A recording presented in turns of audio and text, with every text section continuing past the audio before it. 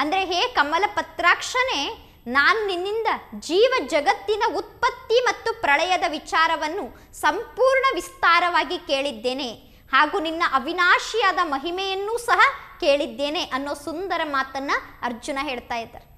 ಅಂದ್ರೆ ಯಾವಾಗ ಸಾವಿರದ ಎರಡು ನೂರ ಐವತ್ತು ವರ್ಷ ಮುಗೀತು ಸತ್ಯಯುಗದ್ದು, ನಂತರ ತ್ರೇತಾಯುಗ ಬರ್ತದೆ. ತ್ರೇತಾಯುಗದಲ್ಲಿ ರಾಮ ಸೀತೆಯರ ರಾಜ್ಯ ಪ್ರಾರಂಭ ಆಗ್ತದೆ. ಯಾಕೆಂದ್ರೆ ಇವತ್ತು ಮಾಡ್ತಾ ಇರೋ, ಮನುಷ್ಯ ಮಾಡ್ತಾ ಇರುವಂತಹ ಪಾಪಕರ್ಮದಿಂದ ಒಂದು ಕಡೆ ಪ್ರಕೃತಿ ಕೂಡ ವಿಕೋಪಕ್ಕೆ ಹೋಗ್ತಾ ಇದೆ. ಪ್ರಕೃತಿ ವಿಕೋಪಕ್ಕೆ ಹೋಗ್ತಾ ಇರೋ ಕಾರಣ ಅತ್ಯಾಚಾರ, ಅನಾಚಾರ, ಕೊಲೆ, ಸುಲಿಗೆ ಇದು ಜಗತ್ತಿನಲ್ಲಿ ಜಾಸ್ತಿನೇ ಆಗ್ತಾ ಇದೆ.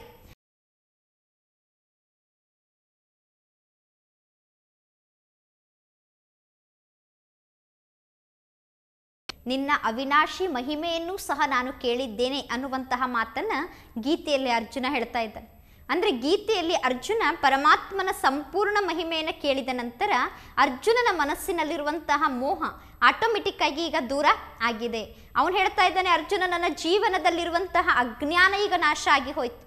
ಅಂದ್ರೆ ನಿನ್ನ ಜ್ಞಾನದ ಪ್ರಕಾಶದಿಂದ ನನ್ನ ಜೀವನದ ಸಂಪೂರ್ಣ ಅಜ್ಞಾನ ನಾಶ ಆಯಿತು. ನಿನ್ನ ಉಪದೇಶದಿಂದ ನನ್ನ ಜೀವನದ ಅನೇಕ ವಿಚಾರಗಳಿಂದ ನಾನು ಮುಕ್ತನಾಗಿದ್ದೇನೆ. ನಿನ್ನ ವಚನಗಳನ್ನು ಕೇಳಿ ನನಗೆ ಬಹಳ ಖುಷಿ ಆಗಿದೆ. ನಿನ್ನ ಆಧ್ಯಾತ್ಮಿಕ ವಿಚಾರದಿಂದ, ರಹಸ್ಯದ ವಿಚಾರದಿಂದ ನನ್ನ ಜೀವನದಲ್ಲಿ ನನಗೆ ಸುಖ, ಶಾಂತಿ ಪ್ರಾಪ್ತಿಯಾಗಿದೆ ಅನ್ನುವಂತಹ ಮಾತನ ಗೀತೆಯಲ್ಲಿ ಅರ್ಜುನ ಪರಮಾತ್ಮನಿಗೆ ಬಹಳ ಸುಂದರವಾಗಿ ಹೇಳ್ತಾ ಇದ್ದಾರೆ.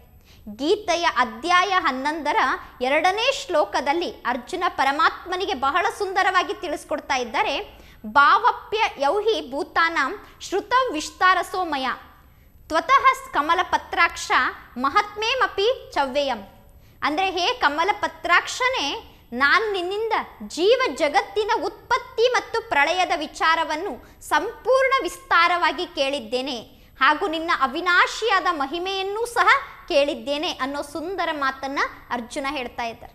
ಅಂದರೆ ಪರಮಾತ್ಮ ಈಗಾಗಲೇ ಅರ್ಜುನನಿಗೆ ತಿಳಿಸಿರುವಂತಹ ವಿಚಾರ ಅಂದರೆ ಜೀವ ಜಗತ್ತಿನ ಉತ್ಪತ್ತಿ ಮತ್ತು ಪ್ರಳಯ. ಅಂದರೆ ಜೀವ ಜಗತ್ತಿನ ಉತ್ಪತ್ತಿ ಯಾವಾಗ ಆಯಿತು ಮತ್ತು ಪ್ರಳಯ ಯಾವಾಗ ಆಯಿತು ಅನ್ನುವಂತಹ ವಿಚಾರವನ್ನ ಪರಮಾತ್ಮ ಅರ್ಜುನನಿಗೆ ವಿಸ್ತಾರವಾಗಿ ತಿಳಿಸಿದ್ದಾರೆ ಅನ್ನುವಂತಹ ಮಾತನ್ನ ಗೀತೆಯಲ್ಲಿ ಅರ್ಜುನ ಹೇಳ್ತಾ ಇದ್ದಾರೆ. ಅಂದರೆ ಈಗಾಗಲೇ ನಾವು ಕೂಡ ಗೀತೆಯಲ್ಲಿ ಈ ಸುಂದರ ಮಾತನ್ನು ಬಹಳ ಸುಂದರವಾಗಿ ಅರ್ಥ ಮಾಡ್ಕೊಂಡಿದ್ದೇವೆ. ಮೊದಲು ಎಲ್ಲ ಆತ್ಮರು ಕೂಡ ಪರಮಧಾಮದಲ್ಲಿ, ಮುಕ್ತಿಯ ಲೋಕದಲ್ಲಿ, ಶಾಂತಿಯ ಲೋಕದಲ್ಲಿ, ಬ್ರಹ್ಮ ಮಹಾತತ್ವ ಬ್ರಹ್ಮಾಂಡದಲ್ಲಿ ಪರಮಾತ್ಮ ಪರಮ ಜ್ಯೋತಿಯಾದ ಪರಮಾತ್ಮನ ಜೊತೆ ಜೊತೆಗೆ ಎಲ್ಲರೂ ಆತ್ಮ ಜ್ಯೋತಿಗಳಾಗಿ ಪರಮಧಾಮದಲ್ಲೇ ನಿವಾಸವನ್ನು ಮಾಡ್ತಾ ಇದ್ವಿ. ಆ ರೀತಿ ಪರಮಧಾಮದಲ್ಲಿ ಪರಮ ಜ್ಯೋತಿಯ ಜೊತೆಗೆ ಇದ್ದಂತಹ ನಾವೆಲ್ಲ ಆತ್ಮರಲ್ಲಿ ಕೆಲವು ಆತ್ಮರು ಮಾತ್ರ ಈ ಸೃಷ್ಟಿಯ ಆದಿ ಸಮಯವಾದ ಈ ಸೃಷ್ಟಿಯ ಉತ್ಪತ್ತಿಯ ಸಮಯವಾದ ಸತ್ಯಯುಗದಲ್ಲಿ, ಅಂದರೆ ರಾಧಾಕೃಷ್ಣರ ರಾಜ್ಯದಲ್ಲಿ ಕೇವಲ ಒಂಬತ್ತು ಲಕ್ಷದಷ್ಟು ಆತ್ಮರು ಮಾತ್ರ ಪರಮಧಾಮದಿಂದ ಈ ಸೃಷ್ಟಿಗೆ ಪಾತ್ರವನ್ನು ಮಾಡಲಿಕ್ಕೆ ಬಂದರು. ಆ ಯುಗವನ್ನೇ ಕೃತಯುಗ ಅಥವಾ ಸತ್ಯಯುಗ ಅಂತ ಹೇಳಿ ಕರೆಯಲಾಗ್ತಾ ಇತ್ತು. ಅಂದರೆ ಒಂದಾನೊಂದು ಕಾಲದಲ್ಲಿ ಇವತ್ತಿನಿಂದ ಐದು ಸಾವಿರ ವರ್ಷಗಳ ಹಿಂದಿನ ಮಾತು ಇದು. ಅಂದರೆ ಐದು ಸಾವಿರ ವರ್ಷಗಳ ಹಿಂದೆ ಇದೇ ಸೃಷ್ಟಿಯಲ್ಲಿ ಕೃತಯುಗ ಅಥವಾ ಸತ್ಯಯುಗ ಇತ್ತು. ಆ ಸತ್ಯಯುಗ ಅಥವಾ ಕೃತಯುಗ ಇದ್ದಾಗ ರಾಧಾಕೃಷ್ಣರ ಜನ್ಮ ಆ ಯುಗದಲ್ಲಿ ಆಗಿತ್ತು. ಅಲ್ಲಿ ಕೇವಲ ಒಂಬತ್ತು ಲಕ್ಷ ಜನಸಂಖ್ಯೆ ಇಡೀ ಸೃಷ್ಟಿಯ ಮೇಲೆ ಇತ್ತು. ಅಲ್ಲಿರುವಂಥವರೆಲ್ಲ ದೇವಾತ್ಮರು ಆಗಿದ್ದರು ದೇವಾತ್ಮರಾಗಿರೋ ಕಾರಣ ಅಲ್ಲಿರುವಂತಹ ಭೂಮಿ, ಅಲ್ಲಿರುವಂತಹ ಸೃಷ್ಟಿಯನ್ನು ಸ್ವರ್ಣಿಮ ಜಗತ್ತು ಸುವರ್ಣ ಯುಗ ಅಥವಾ ಸ್ವರ್ಗ ಅನ್ನುವಂಥ ಹೆಸರಿನಿಂದ ಕರಿತಾ ಇದ್ವಿ ಅಲ್ಲಿ ಜನರ ಜೀವನದಲ್ಲಿ ಯಾವುದೇ ಪ್ರಕಾರದ ದುಃಖ ಆಗಲಿ, ಅಶಾಂತಿ ಆಗಲಿ, ನೋವು ಆಗಲಿ, ಚಿಂತೆ ಆಗಲಿ ಇರಲೇ ಇಲ್ಲ. ಅಲ್ಲಿರುವಂತಹ ದೇವತೆಗಳು ಸಂಪೂರ್ಣ ಸುಖ ಶಾಂತಿಯಿಂದ ಇದ್ರು. ಅವರು ಅಮರರಾಗಿರೋ ಕಾರಣ, ದೇವತೆಗಳು ಅಮರರಾಗಿರೋ ಕಾರಣ ಅವರು ನೂರ ಐವತ್ತು ವರ್ಷ ಆಯಸ್ಸಿಗಿಂತ ಮೊದಲು ಯಾರೂ ಶರೀರವನ್ನು ತ್ಯಾಗ ಮಾಡ್ತಾ ಇರಲಿಲ್ಲ. ಅಲ್ಲಿರುವಂತಹ ದೇವತೆಗಳು ಇಚ್ಛಾಮರಣಿಗಳಾಗಿದ್ರು, ಅಲ್ಲಿ ಅಕಾಲ ಮೃತ್ಯು ಇರಲಿಲ್ಲ.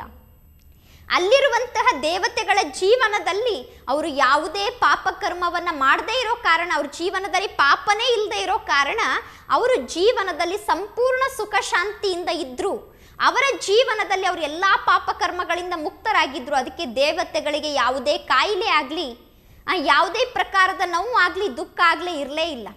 ಅಂತಹ ಯುಗದಲ್ಲಿ ಎಲ್ಲಿ ಕಾಯಿಲೆನೇ ಇರಲಿಲ್ಲವೋ ಸತ್ಯ ಯುಗದಲ್ಲಿ ಎಲ್ಲಿ ಡಾಕ್ಟರ್ ಆಗಲಿ ಅಥವಾ ಮೆಡಿಸನ್ ಆಗಲಿ ಮೆಡಿಕಲ್ ಶಾಪ್ ಆಗಲಿ ಅಥವಾ ನರ್ಸಿಂಗ್ ಹೋಮ್ ಆಗಲಿ ಯಾವುದೂ ಕೂಡ ಇರಲೇ ಇಲ್ಲ. ಅಂತಹ ಜಗತ್ತು ಸ್ವರ್ಣಿಮ ಯುಗ, ಸತ್ಯಯುಗ ಆಗಿತ್ತು. ಅಲ್ಲಿ ದೇವತೆಗಳು ಪರಸ್ಪರ ಬಹಳ ಸುಖ ಶಾಂತಿಯಿಂದ ಇರೋ ಕಾರಣ, ಅಲ್ಲಿ ಯಾರಿಗೂ ಯಾವ ವಸ್ತುವಿನ ಕೊರತೆನೇ ಇಲ್ಲದೆ ಇರೋ ಕಾರಣ, ಯಾರೂ ಕಳ್ಳತನ, ಮೋಸ, ಕೊಲೆ, ಸುಲಿಗೆ ಇಂಥದ್ದನ್ನು ಮಾಡ್ತಾನೆ ಇರಲಿಲ್ಲ. ಅಂತಹ ಸ್ವರ್ಣಿಮ ಜಗತ್ತು, ಸುಂದರ ಜಗತ್ತಿನಲ್ಲಿ ದೇವತೆಗಳಿರೋ ಕಾರಣ, ಅಲ್ಲಿ ಯಾರೂ ತಪ್ಪನ್ನು ಮಾಡದೇ ಇರೋ ಕಾರಣ, ಅಲ್ಲಿ ಪೊಲೀಸ್ ಸ್ಟೇಷನ್ ಆಗಲಿ, ಜೈಲ್ ಆಗಲಿ, ಕೋರ್ಟ್ ಆಗಲಿ ಯಾವುದೂ ಇರಲೇ ಇಲ್ಲ. ಅಂತಹ ಸೃಷ್ಟಿ ಐದು ಸಾವಿರ ವರ್ಷಗಳ ಹಿಂದೆ ಇದೇ ಭಾರತ ಭೂಮಿ ಆಗಿತ್ತು ಅಲ್ಲಿರುವಂತಹ ದೇವತೆಗಳು ಸೂರ್ಯವಂಶಿಗಳಾಗಿದ್ದರು ಅಲ್ಲಿ ಲಕ್ಷ್ಮೀ ನಾರಾಯಣರು ರಾಜ್ಯವನ್ನು ಆಳ್ತಿದ್ರು. ಅದಕ್ಕೆ ಸತ್ಯಯುಗದಲ್ಲಿರುವಂತಹ ನಾರಾಯಣನಿಗೆ ಇವತ್ತಿಗೂ ನಾವು ಮಹಿಮೆ ಮಾಡ್ತೀವಿ ಸೂರ್ಯನಾರಾಯಣ ಅಥವಾ ಸತ್ಯನಾರಾಯಣ ಸೂರ್ಯನಾರಾಯಣ ಯಾಕೆ ಯಾಕೆಂದ್ರೆ ಸೂರ್ಯವಂಶಿ ಮನೆತನದಲ್ಲಿ ನಾರಾಯಣ ನಿವಾಸವನ್ನ ಮಾಡ್ತಾ ಇದ್ದ. ಸತ್ಯನಾರಾಯಣ ಯಾಕೆ ಅಂದರೆ ಸತ್ಯಯುಗದಲ್ಲಿ ನಾರಾಯಣ ನಿವಾಸ ಮಾಡ್ತಾ ಇದ್ದ ಅಂತ ಸತ್ಯನಾರಾಯಣ ಅಂತ ಹೇಳಿ ಕರಿತೀವಿ. ಆ ರೀತಿ ಸುಖ ಶಾಂತಿಯಿಂದ ಕೂಡಿದಂತಹ ಜಗತ್ತು ಸತ್ಯಯುಗದಲ್ಲಿ ಸಾವಿರದ ಎರಡು ನೂರ ಐವತ್ತು ವರ್ಷಗಳವರೆಗೆ ಇತ್ತು. ಅಲ್ಲಿರುವಂತಹ ಒಂಬತ್ತು ಲಕ್ಷ ಜನರೂ ಕೂಡ ಸರ್ವಗುಣ ಸಂಪನ್ನರಾಗಿದ್ರು. ಅವರ ಜೀವನದಲ್ಲಿ ಯಾವುದೇ ಗುಣಗಳಿಗೆ ಕೊರತೆ ಇರಲೇ ಇಲ್ಲ. ಅವರೆಲ್ಲ ಮರ್ಯಾದಾ ಪುರುಷೋತ್ತಮರಾಗಿದ್ರು. ಅಹಿಂಸೋ ಪರಮೋ ಧರ್ಮಿಗಳು ಆಗಿದ್ರು. ಇಂತಹ ಎಲ್ಲ ಗುಣ ಶಕ್ತಿಯಿಂದ ಸಂಪನ್ನರಾದಂತಹ ದೇವತೆಗಳು ಸತ್ಯಯುಗದಲ್ಲಿ ಸಾವಿರದ ಎರಡು ನೂರ ಐವತ್ತು ವರ್ಷದವರೆಗೆ, ಅಂದರೆ ಸತ್ಯಯುಗದ ಆರಂಭದಿಂದ ಸಾವಿರದ ಎರಡು ನೂರ ಐವತ್ತು ವರ್ಷಗಳವರೆಗೆ ಸಂಪೂರ್ಣ ಸುಖ ಶಾಂತಿಯಿಂದ ಕೂಡಿದಂತಹ ಜೀವನವನ್ನು ನಡೆಸಿದರು. ಅಂತಹ ಯುಗದಲ್ಲಿ ಒಂದೊಂದು ಜನ್ಮದಲ್ಲೂ ನೂರ ಐವತ್ತು ವರ್ಷ ಆಯಸ್ಸಿತ್ತು. ಅಂತಹ ಎಂಟು ಜನ್ಮವನ್ನು ಶ್ರೀಕೃಷ್ಣ ಸತ್ಯಯುಗದಲ್ಲಿ ಪಡ್ಕೊಂಡ. ಆ ರೀತಿ ಎಂಟು ಜನ್ಮವನ್ನ ಶ್ರೀಕೃಷ್ಣ ಸತ್ಯಯುಗದಲ್ಲಿ ಪಡ್ಕೊಂಡಿರೋ ಕಾರಣ ಇವತ್ತಿಗೂ ಕೃಷ್ಣ ಹುಟ್ಟಿದಂತಹ ದಿನಕ್ಕೆ ನಾವು ಕೃಷ್ಣ ಜನ್ಮಾಷ್ಟಮಿ ಅಂತ ಹೇಳಿ ಕರಿತೀವಿ. ಅಂದರೆ ಕೃಷ್ಣ ಅಷ್ಟ ಜನ್ಮಗಳನ್ನು ಸತ್ಯಯುಗದಲ್ಲಿ ಪಡ್ಕೊಂಡಿದ್ದ ಅಂತ ಹೇಳಿ. ನಂತರ ಎಂಟು ಜನ್ಮಗಳನ್ನು ಪಡ್ಕೊಂಡು ಸಾವಿರದ ಎರಡು ನೂರ ಐವತ್ತು ವರ್ಷ ಮುಗಿದ ನಂತರ ಏನು ಜಗತ್ತಿನ ಉತ್ಪತ್ತಿಯಾಗಿ ಸತ್ಯಯುಗ ಪ್ರಾರಂಭ ಆಗಿತ್ತೋ, ಸತ್ಯಯುಗದ ಅಂತ್ಯ ಆಗಿ ನಂತರ ತ್ರೇತಾಯುಗ ಪ್ರಾರಂಭ ಆಗ್ತದೆ. ಅಂದರೆ ಯಾವಾಗ ಸಾವಿರದ ಎರಡು ನೂರ ಐವತ್ತು ವರ್ಷ ಮುಗೀತು ಸತ್ಯಯುಗದ್ದು, ನಂತರ ತ್ರೇತಾಯುಗ ಬರ್ತದೆ. ತ್ರೇತಾಯುಗದಲ್ಲಿ ರಾಮ ಸೀತೆಯರ ರಾಜ್ಯ ಪ್ರಾರಂಭ ಆಗ್ತದೆ. ಅಲ್ಲೂ ಕೂಡ ಸಂಪೂರ್ಣ ಸುಖ ಶಾಂತಿಯಿಂದ ಕೂಡಿದಂತಹ ಜಗತ್ತು. ಯಾವುದೇ ಪ್ರಕಾರದ ದುಃಖ ಅಶಾಂತಿನೇ ಇರಲಿಲ್ಲ. ಅಲ್ಲಿ ಪ್ರಾಣಿಗಳು ಕೂಡ ಪರಸ್ಪರ ಹಿಂಸೆಯನ್ನ ಮಾಡ್ತಾ ಇರಲಿಲ್ಲ. ಎಲ್ಲ ಪ್ರಾಣಿಗಳು ಸಸ್ಯಾಹಾರಿ ಆಗಿತ್ತು ಹುಲಿ ಮತ್ತು ಹಸು ಒಂದೇ ನದಿಯಲ್ಲಿ ನೀರನ್ನು ಕುಡಿತಾ ಇತ್ತು. ಅಂತಹ ತ್ರೇತಾಯುಗದಲ್ಲಿರುವಂತಹ ರಾಮ ಸೀತೆಯರು ಕೂಡ ಸಂಪೂರ್ಣ ಸುಖ ಶಾಂತಿಯಿಂದ ಜೀವನವನ್ನು ಕಳೀತಾ ಇದ್ರು. ಎಂಟು ಜನ್ಮ ಸತ್ಯಯುಗದಲ್ಲೇ ಕೃಷ್ಣನಾಗಿ ಜನ್ಮವನ್ನು ಪಡ್ಕೊಂಡ್ರೆ ಒಂಬತ್ತನೇ ಜನ್ಮದಲ್ಲಿ ಶ್ರೀಕೃಷ್ಣನೇ ಶ್ರೀರಾಮನಾಗಿ ಹುಟ್ಟೋ ಕಾರಣ ರಾಮ ಹುಟ್ಟಿದಂತಹ ದಿನಕ್ಕೆ ಇವತ್ತಿಗೂ ರಾಮ ನವಮಿ ಅಂತ ಕರಿತೀವಿ. ಒಂಬತ್ತನೇ ಜನ್ಮದಲ್ಲಿ ರಾಮನಾಗ್ತಾನೆ, ಸತ್ಯಯುಗದಲ್ಲಿ ಎಂಟು ಜನ್ಮ ಕೃಷ್ಣನಾಗಿರ್ತಾನೆ. ಸತ್ಯಯುಗದಲ್ಲಿ ಸೂರ್ಯ ನಾರಾಯಣ ಇದ್ದ ಅದಕ್ಕೆ ಸೂರ್ಯವಂಶಿ ಮನೆತನ ಇತ್ತು. ನಂತರ ಯಾವಾಗ ಸಾವಿರದ ಎರಡುನೂರ ಐವತ್ತು ವರ್ಷಗಳ ನಂತರ ತ್ರೇತಾಯುಗ ಬಂತೋ, ಆಗ ರಾಮರಾಜ್ಯ ಪ್ರಾರಂಭ ಆಯಿತು, ಅದಕ್ಕೆ ಚಂದ್ರವಂಶಿ ಮನೆತನ. ಇವತ್ತಿಗೂ ರಾಮನ ಹೆಸರನ್ನು ಹೇಳಬೇಕಾದ್ರೆ ಶ್ರೀರಾಮಚಂದ್ರ. ರಾಮಚಂದ್ರ ಯಾಕೆ ಅಂದರೆ ಚಂದ್ರವಂಶಿ ಮನೆತನದಲ್ಲಿ ರಾಜನಾಗಿದ್ದ. ಅಂತಹ ತ್ರೇತಾಯುಗದಲ್ಲೂ ಸಂಪೂರ್ಣ ಸುಖ ಶಾಂತಿಯಿಂದ ಕೂಡಿದಂತಹ ಜಗತ್ತಿನಲ್ಲಿ ಮತ್ತೆ ಅಲ್ಲಿರುವಂತಹ ದೇವತೆಗಳು ಸಾವಿರದ ಎರಡುನೂರ ಐವತ್ತು ವರ್ಷ ರಾಜ್ಯವನ್ನ ಮಾಡ್ತಾರೆ ಮಾಡ್ತಾರೆ. ಅಂತಹ ತ್ರೇತಾಯುಗದಲ್ಲಿ ಸಾವಿರದ ಎರಡುನೂರ ಐವತ್ತು ವರ್ಷ ರಾಜ್ಯವನ್ನ ಮಾಡುವಂತಹ ಸಮಯದಲ್ಲಿ ಅಲ್ಲಿ ದೇವತೆಗಳ ಸಂಖ್ಯೆ ಮೂವತ್ತ್ಮೂರು ಕೋಟಿ ತ್ರೇತಾಯುಗದ ಅಂತ್ಯದಲ್ಲಿ ಇರ್ತದೆ. ಈ ರೀತಿ ಮೂವತ್ತ್ಮೂರು ಕೋಟಿ ದೇವತೆಗಳು ಒಂದೊಂದು ಜನ್ಮದಲ್ಲೂ ನೂರ ಇಪ್ಪತ್ತೈದು ವರ್ಷ ಆಯಸ್ಸು, ನೂರ ಇಪ್ಪತ್ತೈದು ವರ್ಷ ಆಯಸ್ಸಿಗಿಂತ ಕಡಿಮೆ ಮೊದಲು ದೇವತೆಗಳು ಶರೀರವನ್ನು ಬಿಡಲಿಲ್ಲ ತ್ರೇತಾಯುಗದಲ್ಲಿ. ಸತ್ಯಯುಗದಲ್ಲಿ ನೂರ ಐವತ್ತು ವರ್ಷ ಆಯಸ್ಸಿತ್ತು, ತ್ರೇತಾಯುಗದಲ್ಲಿ ನೂರ ಇಪ್ಪತ್ತೈದು ವರ್ಷ ಆಯಸ್ಸಾಯಿತು. ಅಂದರೆ ಸತ್ಯಯುಗಕ್ಕೂ ತ್ರೇತಾಯುಗಕ್ಕೂ ಇಪ್ಪತ್ತೈದು ವರ್ಷ ಆಯಸ್ಸು ಕಡಿಮೆ ಆಯಿತು. ಆಯಸ್ಸು ಕಡಿಮೆ ಆಯಿತು, ಸತ್ಯಯುಗದಲ್ಲಿ ಎಂಟು ಜನ್ಮವನ್ನು ಕೃಷ್ಣ ಪಡ್ಕೊಂಡಿದ್ದ. ತ್ರೇತಾಯುಗದಲ್ಲಿ ರಾಮನ ಯುಗದಲ್ಲಿ, ತ್ರೇತಾಯುಗದಲ್ಲಿ ಹನ್ನೆರಡು ಪುನರ್ಜನ್ಮಗಳನ್ನು ರಾಮ ಪಡ್ಕೊಳ್ತಾರೆ. ಅದಕ್ಕೆ ರಾಮ ಹುಟ್ಟಿದ ದಿನಕ್ಕೆ ರಾಮ ನವಮಿ ಅಂತ ಹೇಳಿ ಕರೆಯಲಾಗ್ತದೆ. ಅಂದರೆ ರಾಮ ನವಮಿ ಅಂತ ಹೇಳಿ ನಾವು ಮಾಡ್ತಾ ಇದ್ದೀವಿ. ಈ ರೀತಿ ರಾಮ ಹನ್ನೆರಡು ಪುನರ್ಜನ್ಮಗಳನ್ನು ಪಡ್ಕೊಳ್ತಾರೆ. ಹೀಗೆ ಸತ್ಯುಗ ಮತ್ತು ತ್ರೇತಾಯುಗ ಎರಡೂ ಯುಗ ಸೇರಿಸಿ ಎರಡು ಸಾವಿರದ ಐದು ನೂರು ವರ್ಷಗಳವರೆಗೆ ಇದೇ ಭಾರತದಲ್ಲಿ ಸಂಪೂರ್ಣ ಸುಖ ಶಾಂತಿಯಿಂದ ಕೂಡಿದಂತಹ ಜಗತ್ತು ಇತ್ತು. ಅಲ್ಲಿ ಯಾವುದೇ ಪ್ರಕಾರದ ಅಜ್ಞಾನದ ಅಂಧಕಾರ ಆಗಲಿ, ದುಃಖ, ಅಶಾಂತಿ ಆಗಲಿ ನೋವಾಗಲಿ ಕೆಟ್ಟದ್ದಾಗಲಿ ಇರಲೇ ಇಲ್ಲ. ಆ ಎರಡೂ ಯುಗವನ್ನು ಸೇರಿಸಿ ಎರಡು ಸಾವಿರದ ಐದು ನೂರು ವರ್ಷಗಳವರೆಗೆ ಈ ಸೃಷ್ಟಿಯಲ್ಲಿ ಸ್ವರ್ಗ ಇತ್ತು. ನಂತರ ಯಾವಾಗ ದ್ವಾಪರ ಯುಗ ಪ್ರಾರಂಭ ಆಯಿತು, ಆಗ ದೇವತೆಗಳೇ ವಾಮ ಮಾರ್ಗದಲ್ಲಿ ಬಂದು ಪೂಜ್ಯ ದೇವತೆಗಳೇ ಪೂಜಾರಿಗಳಾದರು. ದ್ವಾಪರ ಯುಗದಲ್ಲಿ ನಿಧಾನವಾಗಿ ದುಃಖ ಮತ್ತು ಅಶಾಂತಿ ಪ್ರಾರಂಭ ಆಯಿತು. ಆಗ ಅನೇಕ ವ್ಯಕ್ತಿಗಳು ಅನೇಕ ಮಂದಿರವನ್ನು ಕಟ್ಟಿ ಪೂಜೆ ಮಾಡಲಿಕ್ಕೆ ಪ್ರಾರಂಭ ಮಾಡಿದರು. ಅದೇ ಸಮಯದಲ್ಲಿ ಭಾರತದಲ್ಲಿ ಹನ್ನೆರಡು ಜ್ಯೋತಿರ್ಲಿಂಗಗಳನ್ನು ಮಾಡಿಕೊಂಡು ಪೂಜೆ ಮಾಡಲಿಕ್ಕೆ ಪ್ರಾರಂಭ ಮಾಡಿದರು. ಸೌರಾಷ್ಟ್ರದಲ್ಲಿ ಸೋಮನಾಥ, ಶ್ರೀಶೈಲದಲ್ಲಿ ಮಲ್ಲಿಕಾರ್ಜುನ, ಉಜ್ಜಯಿನಿಯಲ್ಲಿ ಮಹಾಕಾಲ, ಓಂಕಾರದಲ್ಲಿ ಮಮಲೇಶ್ವರ, ಪಾರಳ್ಯದಲ್ಲಿ ವೈದ್ಯನಾಥ ಡಾಕಿನ್ಯಾದಲ್ಲಿ ಭೀಮಾಶಂಕರ. ಈ ರೀತಿ ಹನ್ನೆರಡು ಜ್ಯೋತಿರ್ಲಿಂಗಗಳನ್ನು ಪೂಜೆ ಮಾಡೋದ್ರ ಜೊತೆ ಜೊತೆಗೆ ಅನೇಕ ದೇವತೆಗಳ ಉಪಾಸನೆ ಕೂಡ ದ್ವಾಪರ ಯುಗದಲ್ಲಿ ಪ್ರಾರಂಭ ಆಯಿತು. ಹೇಗೆ ಹೇಗೆ ಭಕ್ತಿ ಜಾಸ್ತಿ ಆಗ್ತಾ ಹೋಯಿತು, ಅನೇಕ ದೇವೋಪಾಸನೆ ಪ್ರಾರಂಭ ಆಯಿತು. ಅಷ್ಟು ಮನುಷ್ಯನ ಜೀವನದಲ್ಲಿ ಶಕ್ತಿ ಕೂಡ ಕಡಿಮೆ ಆಗಲಿಕ್ಕೆ ಪ್ರಾರಂಭ ಆಯಿತು. ಈ ರೀತಿ ದ್ವಾಪರ ಯುಗದಲ್ಲಿರುವಂತಹ ಮನುಷ್ಯಾತ್ಮರು ದ್ವಾಪರ ಯುಗದಲ್ಲಿ ಅದೇ ಸಾವಿರದ ಎರಡುನೂರ ಐವತ್ತು ವರ್ಷದಲ್ಲಿ ಇಪ್ಪತ್ತೊಂದು ಪುನರ್ಜನ್ಮಗಳನ್ನು ಪ್ರಾಪ್ತಿ ಮಾಡಿಕೊಂಡ್ರು. ನಂತರ ದ್ವಾಪರ ಯುಗ ಇದ್ದಂತಹ ಭಾರತ ಮತ್ತೆ ಕಲಿಯುಗ ಆಯಿತು. ದ್ವಾಪರ ಯುಗದಲ್ಲಿ ಎಲ್ಲರೂ ಪರಮಾತ್ಮನನ್ನ ಕೂಗಿ ಕರೀತಾ ಇದ್ರು. ಬಂದು ಸುಖ ಕೊಡು, ಶಾಂತಿ ಕೊಡು, ನೆಮ್ಮದಿ ಕೊಡು ಅಂತ. ಆಗ ಜಗತ್ತನ್ನ ಸುಧಾರಣೆ ಮಾಡಲಿಕ್ಕೆ ಪರಮಾತ್ಮ ಧರ್ಮ ಸ್ಥಾಪಕರನ್ನ ಕಳಿಸಿದ್ರು. ಗೀತೆಯಲ್ಲಿ ಅರ್ಜುನ ಹೇಳ್ತಾನೆ, ನಿನ್ನ ಅವಿನಾಶಿಯಾದ ಮಹಿಮೆಯ ಬಗ್ಗೆ ಕೂಡ ಈಗ ನಾನಾಗ್ಲೇ ಕೇಳಿದ್ದೇನೆ ಅನ್ನೋ ಮಾತನ್ನ ಗೀತೆಯ ಅಧ್ಯಾಯ ಹನ್ನೊಂದರ ಶ್ಲೋಕ ಎರಡರಲ್ಲಿ ಅರ್ಜುನ ಬಹಳ ಸುಂದರವಾಗಿ ಹೇಳ್ತಾರೆ ಭವ್ಯಾಪ್ಯ ಯೌಹಿ ಭೂತಾನಾಂ ಶ್ರುತ ವಿಸ್ತಾರಸೋಮಯ ತ್ವತಃ ಕಮಲ ಪತ್ರಾಕ್ಷ ಮಹಾತ್ಮ್ಯಾಮಪಿ ಚವ್ಯಯಂ ಅಂದರೆ ಹೇ ಕಮಲ ಪತ್ರಾಕ್ಷನೇ ನಿನ್ನಿಂದ ನಾನು ಈ ಜಗತ್ತಿನ ಉತ್ಪತ್ತಿ ಮತ್ತು ವಿನಾಶದ ಬಗ್ಗೆ ವಿಸ್ತಾರವಾಗಿ ಕೇಳಿದ್ದೇನೆ. ಜೊತೆ ಜೊತೆಗೆ ನಿನ್ನ ಅವಿನಾಶಿಯಾದ ಮಹಿಮೆಯ ಬಗ್ಗೆನೂ ಸಂಪೂರ್ಣವಾಗಿ ನಾನು ಜ್ಞಾನವನ್ನು ಕೇಳಿದ್ದೇನೆ. ಒಂದು ವೇಳೆ ದ್ವಾಪರ ಯುಗದಲ್ಲೇನಾದರೂ ಪರಮಾತ್ಮ ಗೀತಾ ಜ್ಞಾನವನ್ನ ಹೇಳಿದ್ದೇ ನಿಜ ಆಗಿದ್ರೆ, ದ್ವಾಪರ ಯುಗದ ನಂತರ ಮತ್ತೆ ಸತ್ಯಯುಗ ಬರಬೇಕಿತ್ತು. ಆದರೆ ದ್ವಾಪರ ಯುಗದ ನಂತರ ಬಂದಿರುವಂಥದ್ದು ಕಲಿಯುಗ. ಇಂತಹ ಕಲಿಯುಗದಲ್ಲಿ ಅಂದರೆ ಯಾವಾಗ ಈ ಸೃಷ್ಟಿಯ ಅಂತಿಮ ಸಮಯ ಬಂತು. ಮತ್ತೆ ದ್ವಾಪರ ಯುಗದ್ದು ಸಾವಿರದ ಎರಡುನೂರ ಐವತ್ತು ವರ್ಷ ಮುಗಿದ ನಂತರ ಈಗ ಕಲಿಯುಗದಲ್ಲಿ ಸಾವಿರದ ಎರಡುನೂರ ಐವತ್ತು ವರ್ಷದವರೆಗೆ ಏನು ಮನುಷ್ಯ ಪಾತ್ರ ಮಾಡ್ತಾ ಇದ್ದಾನೆ?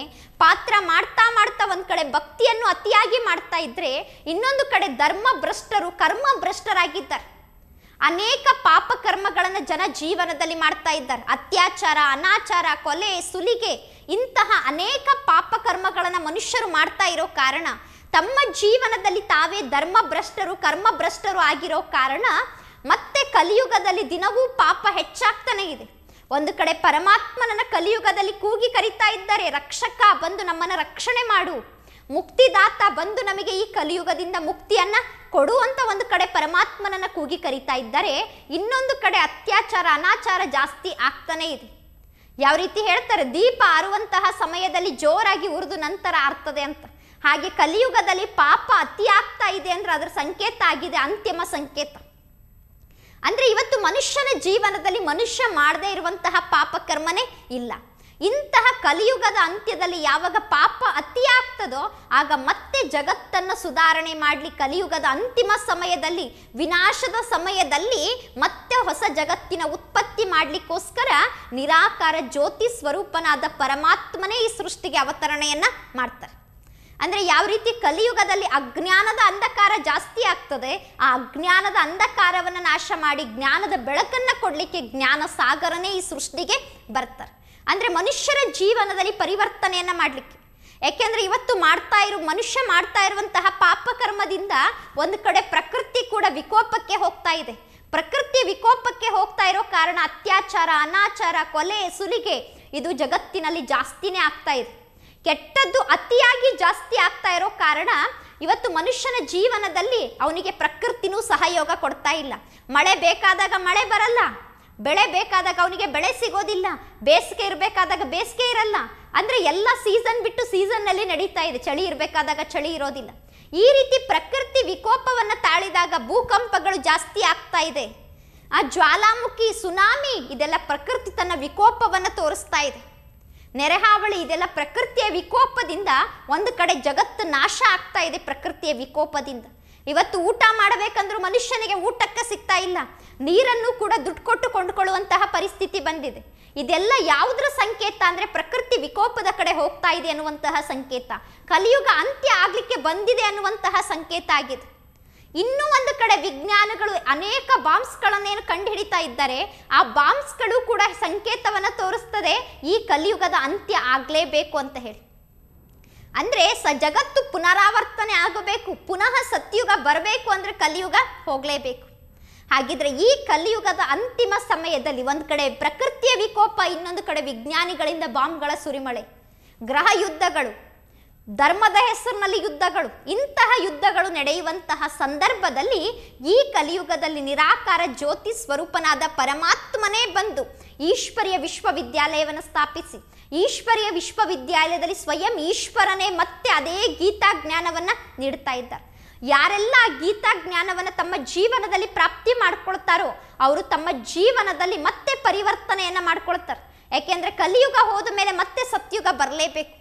ಈ ಕಲಿಯುಗದ ಅಂತ್ಯದಲ್ಲಿ ಸ್ವಯಂ ಪರಮಾತ್ಮನೇ ಈ ಸೃಷ್ಟಿಗೆ ಅವತರಣೆ ಮಾಡಿ, ಈಗ ಪುರುಷೋತ್ತಮ ಸಂಗಮ ಯುಗದಲ್ಲಿ ಆತ್ಮರಾದ ನಾವು ಯಾವ ಪರಮಾತ್ಮನಿಗೋಸ್ಕರ ದ್ವಾಪರ ಯುಗದಿಂದ ಹುಡುಕ್ತಾ ಇದ್ವೋ, ಈಗ ನಾವು ಸಹಜವಾಗಿ ಆ ಪರಮಾತ್ಮನ ಜೊತೆಗೆ ಮಿಲನವನ್ನ ಮಾಡಬಹುದು. ಈ ರೀತಿ ಕಲಿಯುಗದಲ್ಲಿ ಮನುಷ್ಯಾತ್ಮ ಸಾವಿರದ ಎರಡು ನೂರ ಐವತ್ತು ವರ್ಷಗಳಲ್ಲಿ ನಲವತ್ತೆರಡು ಪುನರ್ಜನ್ಮಗಳನ್ನು ಪಡ್ಕೊಳ್ತಾ ಪಾಪವನ್ನ ಅತಿಯಾಗಿ ಮಾಡ್ತಾ ಮನುಷ್ಯನ ಆಯಸ್ಸಿಗೆ ಗ್ಯಾರಂಟಿನೇ ಇಲ್ಲ. ಹುಟ್ಟಿದ ಮಗುನೂ ಸಾಯ್ತದೆ ವರ್ಷದ ಮನುಷ್ಯನೂ ಸಾಯ್ತಾನೆ. ಒಂದು ಕಡೆ ಪಾಪ ಏನಾಗ್ತಾ ಇದೆ? ಅತಿ ಆಗ್ತಾನೇ ಇದೆ ಕಲಿಯುಗದಲ್ಲಿ. ಮನುಷ್ಯ ಯಾವ ಪಾಪ ಕರ್ಮವನ್ನು ಮಾಡ್ಲಿಕ್ಕೂ ಇವತ್ತು ಹೆದರುತ್ತಾ ಇಲ್ಲ. ಇಂತಹ ಜನರನ್ನ ಸುಧಾರಣೆ ಮಾಡಲಿಕ್ಕೆ ಪರಮಾತ್ಮನೇ ಈ ಸೃಷ್ಟಿಗೆ ಬಂದಿದ್ದಾರೆ. ಈಗ ಮತ್ತೆ ಈ ಕಲಿಯುಗ ಸತ್ಯುಗವಾಗಿ ನಿರ್ಮಾಣ ಆಗಲೇಬೇಕು. ಜಗತ್ತಿನಲ್ಲಿ ಒಂದು ಮಹಾನ್ ಪರಿವರ್ತನೆ ಆಗಲೇಬೇಕು. ಜಗತ್ತಿನಲ್ಲಿ ಪರಿವರ್ತನೆ ಆಗಲಿಲ್ಲ. ಜನರ ಜೀವನದಲ್ಲಿ ಪರಿವರ್ತನೆ ಆಗಲಿಲ್ಲ ಅಂದ್ರೆ ಇನ್ನೂ ಸ್ವಲ್ಪೇ ಸಮಯದಲ್ಲಿ ಈ ಜಗತ್ತಿನಲ್ಲಿ ಯಾರೂ ಸುಖ ಶಾಂತಿಯಿಂದ ಇರಲಿಕ್ಕೆ ಸಾಧ್ಯ ಇಲ್ಲ. ಯಾಕೆಂದ್ರೆ ಕೆಟ್ಟದ್ದು ದಿನ ದಿನ ಅತಿ ಆಗ್ತಾ ಇದೆ. ನಾವು ಎಷ್ಟೆಲ್ಲ ದಿನ ವಿಚಾರಗಳನ್ನ ಕೇಳ್ತಾ ಇರ್ತೀವಿ, ಪತ್ರಿಕೆಗಳಲ್ಲಿ ಓದ್ತಾ ಇರ್ತೀವಿ. ಅಂದ್ರೆ ಎಷ್ಟು ಜನ ತಮ್ಮ ಜೀವನದಲ್ಲಿ ನಿತ್ಯವೂ ಅತ್ಯಾಚಾರ, ಅನಾಚಾರಕ್ಕೆ ಒಳಗಾಗ್ತಾ ಇದ್ದಾರೆ. ಎಷ್ಟು ಮಹಿಳೆಯರ ಮೇಲೆ ಶೋಷಣೆ ಕಲಿಯುಗದಲ್ಲಿ ನಡೀತಾ ಇದೆ. ಒಂದು ಕಾಲದಲ್ಲಿ ಇದೇ ಮಹಿಳೆಯರನ್ನ ಪೂಜ್ಯ ಸ್ಥಾನದಲ್ಲಿ, ದೇವಿಯ ಸ್ಥಾನದಲ್ಲಿ ಇದೇ ಭಾರತದಲ್ಲಿ ನೋಡ್ತಾ ಇದ್ರು. ಇಂದು ಇದೇ ಭಾರತದಲ್ಲಿ ಅದೇ ಮಹಿಳೆಯರ ಮೇಲೆ ಎಷ್ಟೆಲ್ಲ ಶೋಷಣೆ ನಡೀತಾ ಇದೆ, ಮಕ್ಕಳ ಮೇಲೆ ಎಷ್ಟೆಲ್ಲ ಅತ್ಯಾಚಾರ ನಡೀತಾ ಇದೆ ಅಂದಮೇಲೆ ಇಂತಹ ಜಗತ್ತು ಈಗ ಮತ್ತೆ ಪುನಃ ಪರಿವರ್ತನೆ ಆಗಲೇಬೇಕು. ಆ ಕಾರ್ಯವನ್ನು ಯಾವುದೇ ಮನುಷ್ಯರು ಮಾಡಲಿಕ್ಕೆ ಸಾಧ್ಯ ಇಲ್ಲ. ಜಗತ್ತನ್ನು ಸುಧಾರಣೆ ಮಾಡೋದು ಮನುಷ್ಯರ ಕೆಲಸ ಅಲ್ಲ, ಜಗತ್ತನ್ನು ಸುಧಾರಣೆ ಮಾಡೋದು ಪರಮಾತ್ಮನ ಕೆಲಸ. ಅದಕ್ಕೆ ಭಗವಂತ ಗೀತೆಯಲ್ಲಿ ಬಹಳ ಸುಂದರವಾಗಿ ಹೇಳ್ತಾರೆ ಉತ್ಪತ್ತಿಗೂ ಕಾರಣ ನಾನೇ, ಅಂತ್ಯಕ್ಕೂ ಕಾರಣ ನಾನೇ, ಕಲಿಯುಗದ ಅಂತ್ಯ ಮಾಡಿಸುವಂಥವನು ನಾನೇ, ಸತ್ಯಯುಗವನ್ನು ಸ್ಥಾಪನೆ ಮಾಡುವಂಥವನು ನಾನೇ ಆಗಿದ್ದೇನೆ ಅನ್ನೋ ಮಾತನ್ನ ಗೀತೆಯಲ್ಲಿ ಭಗವಂತ ಬಹಳ ಸುಂದರವಾಗಿ ಈಗಾಗಲೇ ತಿಳಿಸಿದ್ದಾರೆ. ಅಂದ್ರೆ ಸತ್ಯುಗದಲ್ಲಿ ಬರಬೇಕು ಅಂದ್ರೆ ಸತ್ಯುಗದ ದೇವತೆಗಳ ಜೀವನದಲ್ಲಿರುವಂತಹ ದೈವಿ ಗುಣಗಳನ್ನ ನಮ್ಮ ಜೀವನದಲ್ಲಿ ನಾವು ಅಳವಡಿಸ್ಕೊಳ್ಬೇಕು. ಯಾವಾಗ ದೈವಿ ಗುಣಗಳನ್ನು ಧಾರಣೆ ಮಾಡ್ಕೊಳ್ತೀವೋ ಆಗ ಮಾತ್ರ ನಮ್ಮ ಜೀವನದಲ್ಲಿ ನಾವು ದೇವತೆಗಳ ಸಮಾನ ಆಗಲಿಕ್ಕೆ ಸಾಧ್ಯ. ಇವತ್ತು ನಾವು ಮಾನವರು ಅಂತ ಹೇಳಿಸ್ಕೊಳ್ಳಿಕ್ಕೆ ಕಾರಣ ಏನು ಅಂದರೆ, ನಾವು ನೋಡಲಿಕ್ಕೆ ಮಾನವರಂತೆ ಇದ್ದರೂ ಕೂಡ ನಮ್ಮ ಜೀವನದಲ್ಲಿ ಅನೇಕ ಅವಗುಣಗಳಿದ್ದಾವೆ. ಆ ಅವಗುಣಗಳ ಕಾರಣ ನಾವು ಸಾಮಾನ್ಯ ಮನುಷ್ಯರು ಅಂತ ಹೇಳಿಸ್ಕೊಳ್ತಾ ಇದ್ದೀವಿ. ಮನುಷ್ಯನಲ್ಲಿರುವಂತಹ ಆಸೆ ಇರಬಹುದು ಅಥವಾ ಮನುಷ್ಯನ ಜೀವನದಲ್ಲಿರುವಂತಹ ಕೆಟ್ಟದ್ದನ್ನ ಮಾಡುವಂತಹ ಗುಣ ಇರಬಹುದು ಅಥವಾ ಬೇರೆಯವ್ರನ್ನ ನೋಡಿ ಈರ್ಷೆ ಪಡುವಂತಹ ಗುಣ, ದ್ವೇಷಿಸುವಂತಹ ಗುಣ, ಈ ಅವಗುಣಗಳ ಕಾರಣ ಇವತ್ತು ನಾವು ಮನುಷ್ಯರು ಅಂತ ಹೇಳಿಸ್ಕೊಳ್ತಾ ಇದ್ದೀವಿ. ಒಂದು ವೇಳೆ ಈ ಅವಗುಣಗಳನ್ನು ತ್ಯಾಗ ಮಾಡಿ, ನಾವೇನಾದರೂ ದೈವಿ ಗುಣಗಳನ್ನು ಧಾರಣೆ ಮಾಡಿಕೊಂಡ್ರೆ ಮತ್ತೆ ನಾವು ಕೂಡ ದೇವತೆಗಳ ಸಮಾನ ಆಗಬಹುದು, ಜಗತ್ತು ಪುನಃ ಪರಿವರ್ತನೆಯಾಗಿ ಸತ್ಯುಗದ ನಿರ್ಮಾಣ ಆಗಬಹುದು ಅನ್ನುವಂತಹ ಸುಂದರ ವಿಸ್ತಾರವಾದ ಮಾತನ್ನ ಗೀತೆಯಲ್ಲಿ ಭಗವಂತ ಬಹಳ ಸುಂದರವಾಗಿ ಸ್ಪಷ್ಟಪಡಿಸಿದ್ದಾರೆ. ಈಗ ಅರ್ಜುನನು ಕೂಡ ಹೇಳ್ತಾ ಇದ್ದಾನೆ, ನಿನ್ನ ವಿಸ್ತಾರವಾದ ಜ್ಞಾನವನ್ನು ನಾನು ಕೇಳಿದ್ದೇನೆ, ವಿನಾಶದ ಬಗ್ಗೆನೂ ಕೇಳಿದ್ದೇನೆ, ಸತ್ಯುಗದ ಸ್ಥಾಪನೆಯ ಬಗ್ಗೆನೂ ಕೇಳಿದ್ದೇನೆ. ಅದ್ರ ಜೊತೆ ಜೊತೆಗೆ ನಿನ್ನ ಅವಿನಾಶಿಯಾದ ಮಹಿಮೆಯ ಬಗ್ಗೆನೂ ಕೂಡ ಕೇಳಿದ್ದೇನೆ. ಅಂದ್ರೆ ಇಂತಹ ಕಲಿಯುಗವನ್ನ, ಸತ್ಯುಗವನ್ನಾಗಿ ಮಾಡಬೇಕು ಪರಮಾತ್ಮ ಅಂದ್ರೆ ಆ ಪರಮಾತ್ಮನ ಮಹಿಮೆಗೆ ಅಂತ್ಯನೇ ಇಲ್ಲ.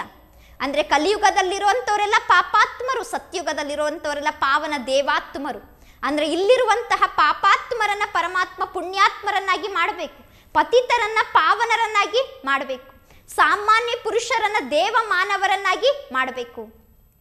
ಅಂದ್ರೆ ಪರಮಾತ್ಮ ಈಗ ಪ್ರತಿಯೊಬ್ಬರ ಜೀವನದಲ್ಲೂ ಅನೇಕ ಪರಿವರ್ತನೆಯನ್ನು ಮಾಡಬೇಕು, ದುಃಖಿಗಳನ್ನು ಸುಖಿಯನ್ನಾಗಿ ಮಾಡಬೇಕು, ಅನೇಕ ಧರ್ಮಗಳನ್ನು ಒಂದು ಧರ್ಮದಲ್ಲಿ ಪರಿವರ್ತನೆ ಮಾಡಬೇಕು, ಅನೇಕ ಭಾಷೆಗಳನ್ನು ಒಂದು ಭಾಷೆಯಲ್ಲಿ ಪರಿವರ್ತನೆ ಮಾಡಬೇಕು. ಇಷ್ಟೆಲ್ಲ ಕಾರ್ಯವನ್ನು ಪರಮಾತ್ಮ ಮಾಡ್ತಾ ಇರೋ ಕಾರಣ ಗೀತೆಯಲ್ಲಿ ಅರ್ಜುನ ಹೇಳ್ತಾನೆ, ನಿನ್ನ ಅವಿನಾಶಿಯಾದ ಮಹಿಮೆಯ ಬಗ್ಗೆ ಕೂಡ ಈಗ ನಾನಾಗಲೇ ಕೇಳಿದ್ದೇನೆ ಅನ್ನೋ ಮಾತನ್ನು ಗೀತೆಯ ಅಧ್ಯಾಯ ಹನ್ನೊಂದರ ಶ್ಲೋಕ ಎರಡರಲ್ಲಿ ಅರ್ಜುನ ಬಹಳ ಸುಂದರವಾಗಿ ಹೇಳ್ತಾರೆ ಭವ್ಯಾಪ್ಯ ಯೌಹಿ ಭೂತಾನಾಂ ಶ್ರುತ ವಿಸ್ತಾರಸೋಮಯ ತ್ವತಃ ಕಮಲ ಪತ್ರಾಕ್ಷ ಮಹಾತ್ಮ್ಯಾಮಪಿ ಚವ್ಯಯಂ ಅಂದರೆ ಹೇ ಕಮಲ ಪತ್ರಾಕ್ಷನೇ ನಿನ್ನಿಂದ ನಾನು ಈ ಜಗತ್ತಿನ ಉತ್ಪತ್ತಿ ಮತ್ತು ವಿನಾಶದ ಬಗ್ಗೆ ವಿಸ್ತಾರವಾಗಿ ಕೇಳಿದ್ದೇನೆ. ಜೊತೆ ಜೊತೆಗೆ ನಿನ್ನ ಅವಿನಾಶಿಯಾದ ಮಹಿಮೆಯ ಬಗ್ಗೆನೂ ಸಂಪೂರ್ಣವಾಗಿ ನಾನು ಜ್ಞಾನವನ್ನು ಕೇಳಿದ್ದೇನೆ. ಅಂದರೆ ಪರಮಾತ್ಮೆಯನೀಗ ಸತ್ಯಯುಗದ ಆದಿಯಿಂದ ಕಲಿಯುಗದ ಅಂತ್ಯದವರೆಗೆ ಸಂಪೂರ್ಣ ಜ್ಞಾನವನ್ನು ನೀಡಿದ್ದಾರೆ ಅದನ್ನು ನಾವು ವಿಸ್ತಾರವಾಗಿ ತಿಳ್ಕೊಂಡು ನಿರಂತರ ಪರಮಾತ್ಮನ ಮಹಿಮೆ ಮಾಡ್ತಾ ದೈವಿ ಗುಣಗಳನ್ನು ಧಾರಣೆ ಮಾಡಿಕೊಂಡು ದೇವತೆಗಳ ಸಮಾನ ಆಗಬೇಕು ಅನ್ನೋ ಸುಂದರ ಮಾತನ್ನ ಗೀತೆಯಲ್ಲಿ ಅರ್ಜುನ ತಿಳಿಸ್ತಾ ಇದ್ದಾರೆ. ಓಂ ಶಾಂತಿ